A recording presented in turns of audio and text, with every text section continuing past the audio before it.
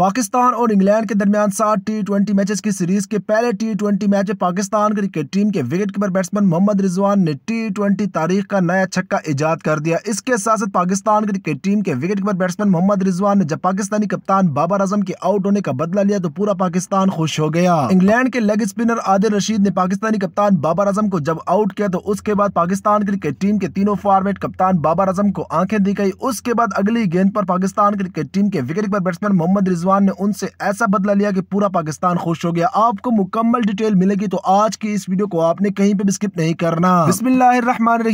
वालेकुम एक और नए वीडियो के साथ आपकी खिदमत में हाजिर हूँ। आप देख रहे हैं हमजा स्पोर्ट जैसा की आपको मालूम है की आज पाकिस्तान और इंग्लैंड के दरमियान सात टी ट्वेंटी मैचेस की सीरीज़ का पहला टी ट्वेंटी मैच खेला गया, जिसमें पाकिस्तान क्रिकेट टीम को इबरतनाक शिकस्त हो चुकी है। मैं इस शिकस्त को इबरतनाक शिकस्त इसलिए कह रहा हूँ क्योंकि इसमें सारा का सारा कसूर पाकिस्तान क्रिकेट टीम की सिलेक्शन कमेटी का है। क्योंकि पाकिस्तान क्रिकेट बोर्ड को और इसके साथ साथ पाकिस्तान क्रिकेट टीम की सिलेक्शन कमेटी को मालूम है कि पाकिस्तान क्रिकेट टीम के मिड आर्डर के बैट्समैन खुश दिल शाह को काफ़ी ज़्यादा मौके मिल चुके हैं, लेकिन वो नाकाम जा रहे हैं। तो अब आपने मुझे कमेंट करके ये बताना है कि खुश दिल शाह की जगह किस खिलाड़ी को शामिल करना चाहिए? मेरे मुताबिक शुएब मलिक को शामिल करना चाहिए। आपने अपने खिलाड़ी का नाम हमें कमेंट बार में ज़रूर बताना है। अब आपको बताता हूँ कि पाकिस्तान क्रिकेट टीम के wicket keeper batsman Mohammad Rizwan ने किस तरह से पाकिस्तानी कप्तान बाबर आज़म का बदला लिया। जैसा की आपको मालूम है की नदरलैंड के खिलाफ सीरीज़ के बाद पाकिस्तान क्रिकेट टीम के तीनों फॉर्मेट कप्तान बाबर आज़म मुकम्मल तौर पर नाकाम जा रहे हैं। एशिया कप 2022 में भी पाकिस्तानी कप्तान बाबर आज़म ने कोई खातिर खा कारकर्दी न दिखाई। आज जब आदिल रशीद ने पाकिस्तान क्रिकेट टीम के तीनों फॉर्मेट कप्तान बाबर आज़म को आउट किया तो उसके बाद बाबर आज़म के सामने आ गए और स्टाइल मारने लगे। उसके बाद उन्होंने पाकिस्तानी कप्तान बाबर आज़म को आँखें भी दिखाई। उसके बाद अगली गेंद पर पाकिस्तान क्रिकेट टीम के wicket keeper batsman Mohammad Rizwan strike पर थे तो मोहम्मद रिजवान ने एक खूबसूरत, लंबा, तरीन छक्का लगाया, जो की उन्होंने एक घुटने पर बैठ कर लगाया। पाकिस्तान क्रिकेट टीम के wicket keeper batsman Mohammad Rizwan ने जैसे आदिल रशीद को छक्का लगाया तो आदिल रशीद फिर गुस्से में आ गए और पाकिस्तान क्रिकेट टीम के wicket keeper batsman Mohammad Rizwan उनकी तरफ़ देखकर मुस्कुरा रहे थे। इसके साथ साथ पाकिस्तान क्रिकेट टीम के wicket keeper batsman Mohammad Rizwan ने आज के मैच में इंडियन क्रिकेट टीम के सबक कप्तान विराट कोहली और इसके साथ साथ पाकिस्तान क्रिकेट टीम के तीनों फॉर्मेट कप्तान बाबर आज़म का भी बड़ा रिकॉर्ड तोड़ दिया। आपको मुकम्मल डिटेल देता हूँ, लेकिन उससे पहले अगर आप पाकिस्तान क्रिकेट टीम के wicket keeper batsman Mohammad Rizwan के फ़ैन है तो आपने इस वीडियो को लाइक करना है, चैनल को सब्सक्राइब करने के साथ साथ बेल के आइकन पर क्लिक कर देना है। जैसा की आपको मालूम है की पाकिस्तान क्रिकेट टीम के तीनों फॉर्मेट कप्तान बाबर आज़म ने एक एक करके विराट कोहली के सारे रिकॉर्ड तोड़ दिए थे। अब पाकिस्तान क्रिकेट टीम के wicket keeper batsman Mohammad Rizwan Pakistani कप्तान बाबर आज़म के एक एक करके सारे रिकॉर्ड तोड़ रहे हैं। इंडियन क्रिकेट टीम के सबक कप्तान विराट कोहली ने टी ट्वेंटी की फिफ्टी इनिंग में दो